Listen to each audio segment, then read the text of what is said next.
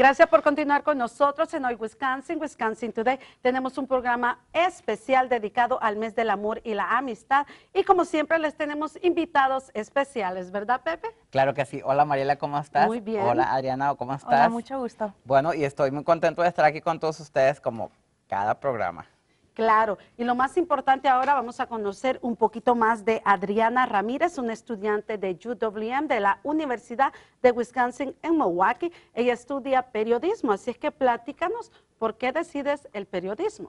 Muchas gracias, Mariela. Ah, escogí el periodismo porque me gusta escribir y mucha gente me ha dicho que cuando escribo, pues, escribo bien y que se sienten una emoción y pues lo pensé porque originalmente estaba estudiando psicología y no me gustó y es cuando cambié a periodismo. Decides cambiar. ¿Por qué el periodismo? ¿Qué fue lo que te, que, lo que te hizo que decidieras cambiar de una carrera a otra? ¿Qué fue lo que te llamó la atención que dijeras tú, esto es lo que a mí me encanta, eh, me equivoqué en aquello, pero esto es lo que más me, me atrajo?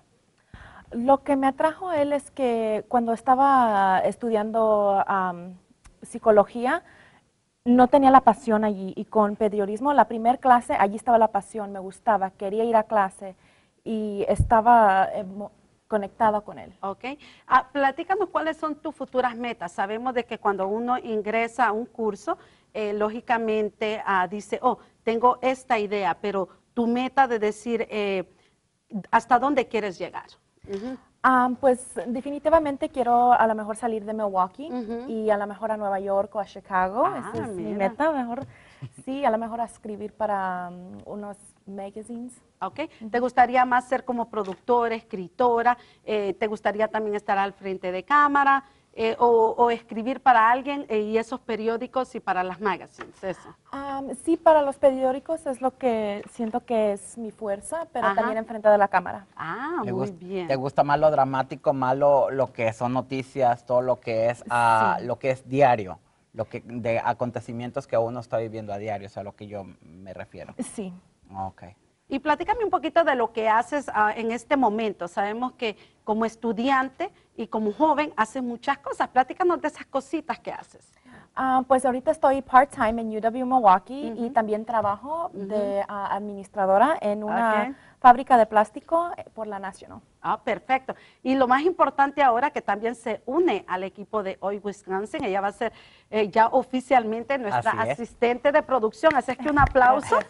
Muchas gracias. Bienvenida sobre todo.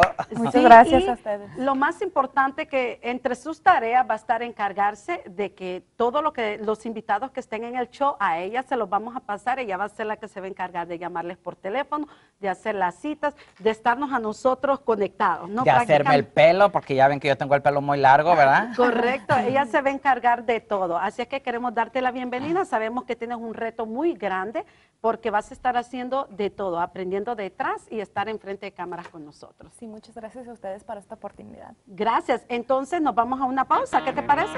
Así, es, Mariela. Ya saben, no se vayan porque en, en un momento volvemos con todos ustedes. Claro que sí, tenemos Usted qué opina y mucho más. No se muevan.